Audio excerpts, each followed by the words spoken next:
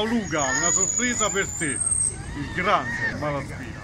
Caro Luca, sai che ti voglio bene e sono uno che seleziona al massimo.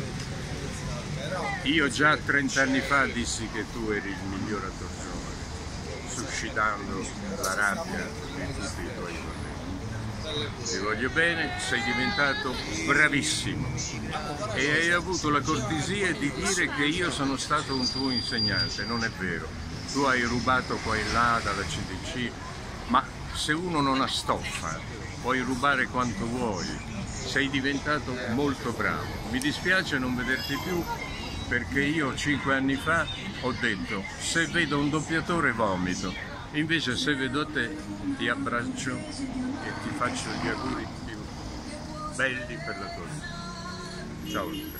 Ciao Luca.